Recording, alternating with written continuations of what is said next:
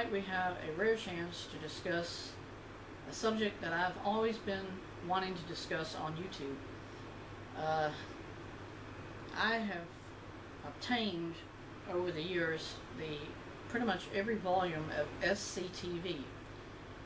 And why did I buy them? I did not buy them because I like the comedy. I liked it because when the show was on the air back in 1983 and 84, you would always see mentions in TV Guide some weeks about a big TV special on SCTV, uh, a 3D special.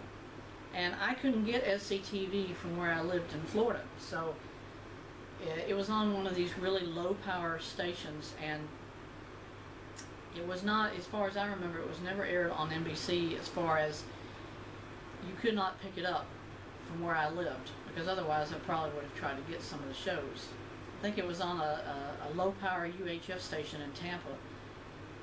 So I have now had a chance finally to uh, get all of the scenes of the shows that were in 3D and uh, I'm going to try to highlight at least in the visuals you see here next to me of the different uh, SCTV videos that were done over the years. Now to begin with, up front, I'm going to say this. None of the shows were ever filmed in 3D. None of them. It was a gimmick. And I know people are going to say that off the top. They're going to say it was never real. They just did it because they thought, well, this would this would entice people to want to watch it. So they, they figure we'll say it's 3D and we'll show the scenes and it's, it's going to be funny because they're going at you like this and all the rest of it. Well, I really believe they were airing it in 3D because I never got to see them. So I thought, here's another chance I've lost. I can't see it.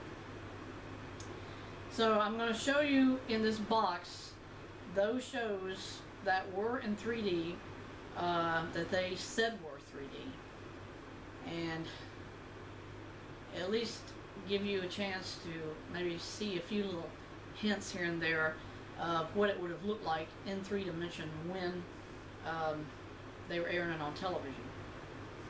The first one, is I remember it, was the uh, Dr. Tongue's House of, um, another one of them was the House of Stewardesses. One was the Laughable House of Pancakes. Um, they did a 3D line, which is basically Dr. Uh, or Count uh, Count Floyd went on television with uh, the cast from one of the movies. I think it was a re. They were redoing the Urban Cowboy, and uh, they again it was a parody. That was the intention of the entire of the entire thing was to imply they were doing this or doing that, and they were making a, a three-dimensional film.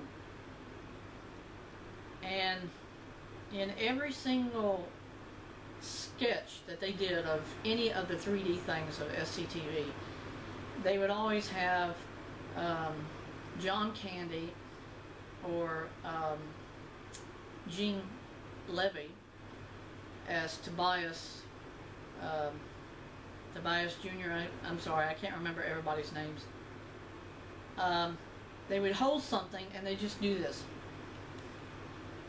You know, and I, when I first saw it, I thought, oh, what would that have looked like in 3D? And then I found out none of them were made in 3D. It was just a gimmick. That's all it was ever intended to be, was a gimmick. So I finally have the opportunity to do really good graphics. You know, doing backdrops, doing um, certain things with what software I have. And I've actually created analog 3D of all of those different scenes. Not the whole episodes, okay? I'm just doing little excerpts because I want everybody to be able to see what these things would have looked like in 3D when they were actually airing them. And uh, as you know, on YouTube, you cannot show the whole scene because they're going to say it's copyrighted if you do it. So I'm going to show it in a little small backdrop type thing, you know? And if you do it smaller, it could be possible that the 3D process might even look real, or even better.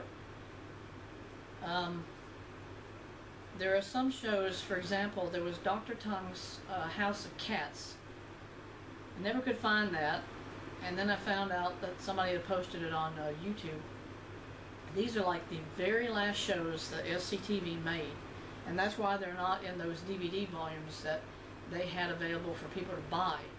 There were five volumes, and I thought when I was buying them, these are all the different seasons. It's not. It was just excerpts of all the shows they aired, and they did five volumes. Five volumes were made.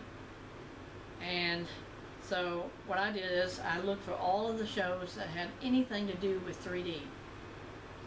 Now, I'm going to say this. Count Floyd is the only main sketch they ever used as the premise for these 3D show uh, gimmicks.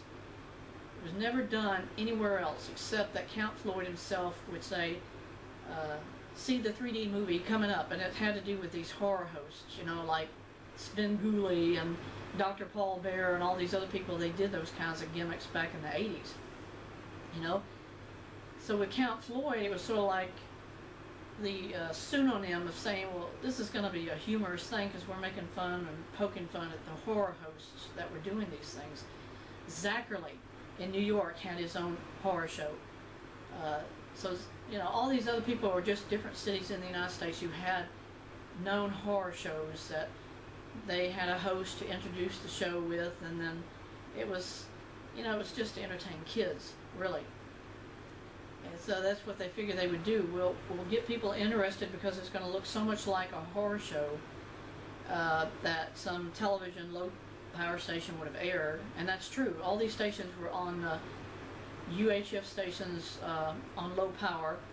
And uh, all these horror hosts would air these things because they, they knew, hey, you know, we have fan base all over the country. We'll have to try to do this to make it look real. And so that's what they did. And, uh, but, uh, you know, when I saw them listed in TV Guide and they kept saying, SCTV does 3D Spectacular tonight or whatever, and you're thinking, oh, I can't see it. I can't see that show. And so over the years, I always thought if I ever can find SCTV on video, I want to see those Dr. Tongue House of whatever, you know, or whatever they did in 3D. I wanted to see them, even if I couldn't see it in 3D.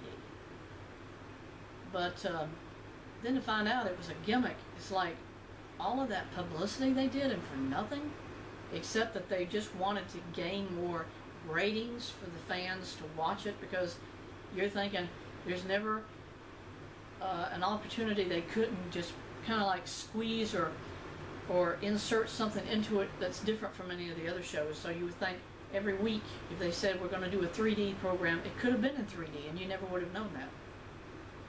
So um, I did a video on my channel not too long ago. It's a, it's called A History of Three-Dimensional Television and I started in 1952 to 2016. If you haven't seen it, you should because what I did is I went from the very beginning movie Bwana Devil. I have a copy of that movie, and I ain't saying where I got it, but it was not in 3D uh, when they released it on video. So I took certain key points, like when the lions were attacking, and I, I used the 3D processor and I made them in 3D. And I, I did that as my opening sequence. Then I switched and I went on to other films that's been on television since, like Hondo. Hondo was aired in 1993 uh, one time, it was sponsored by the Leukemia Society of America. It's never been aired since. That's been 24 years later. They've never aired it again.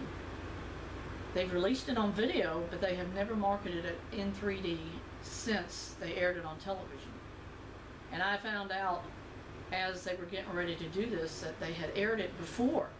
But it was like back in the 60s, I think. They aired it in the 60s could have been late 60s, early 70s, they aired it on television again. That was the very first time they ever aired it. And doing it in 94 or 93, that was going to be the last time they would air it. In other words, the John Wayne estate said, we're going to allow it to be aired one more time in 3D, and that's going to be the last time we show it. And they have never done it again since. So 3D is so popular, but so rare to see it on television. It's just astronomical high definitions here. What would it look like if they could air an actual three-dimensional program on television that was made in 3D from the analog back in the 50s. Gorilla at Large was aired in 86 all over the United States in 3D. They did it maybe twice. And then it was pulled, you've never seen it on television again. Um, Revenge of the Creature. I was so lucky. Channel 2 and ABC affiliate here in Atlanta, they aired it back in 1982, 83, somewhere around there. I didn't have a VCR then, so I couldn't record it. And then when I moved up here, I had a VCR and they aired it again. They aired it a second time. So I got that on, on tape. And, you know, you think, oh, big deal. Well, you can't see these things as they were really intended to be aired in, in, in, in 3D because analog was so fuzzy and half the time you couldn't watch it because the signal was never clear enough to get a really, really good experience of seeing 3D. And so now after 20, 30 years after the fact, it's like the technology has has given us the opportunity to get so many things to high definition, but nobody who has the rights to these shows will probably ever think or consider airing them on television or even releasing them on video because I guess they figure eh, it wouldn't look real anymore. Well, they're wrong because I guarantee if you could air it on high definition television, it would probably be the most crystal clear opportunity to see that three dimensional process coming out of that screen. But they'll probably never do it. So, I'm sorry I didn't really get to explain or describe everything on the screen behind me. But I did want you to know that I'm interested in SCTV only because of them emphasizing at certain points in the show's history that they were doing three-dimensional specials. And I know now they're gimmicks. They were never intended or ever aired in 3D. But maybe maybe y'all have had a chance to experience it through watching what I've posted here today. So, uh, what can I tell you? I appreciate allowing y'all or y'all watching this, and I hope you get some fascination or interest out of it, like I have. And uh, if ever again any television stations air 3D programming from the 50s, they ought to air the same ones they've aired before because what a chance to see an actual three-dimensional program aired in high definition. Because, you know, you've got a totally new generation of kids out there who have never experienced seeing a three-dimensional movie on television. And if you could see it in high definition, it'd blow your mind to see how real those older analog 3D movies are outstanding. That's why I recorded them when I had a chance to see him on television. So, you can do a search on my channel. You can see all the other things I've done about different 3D movies. But uh, this is sort of like uh, the ultimate opportunity to share with you other things that I have been interested in myself, and that's SCTV's uh, gimmicks about three-dimensional television. So thank you for this chance to share with you, and I hope if you get a chance, you'll watch some of my other videos. Thank you.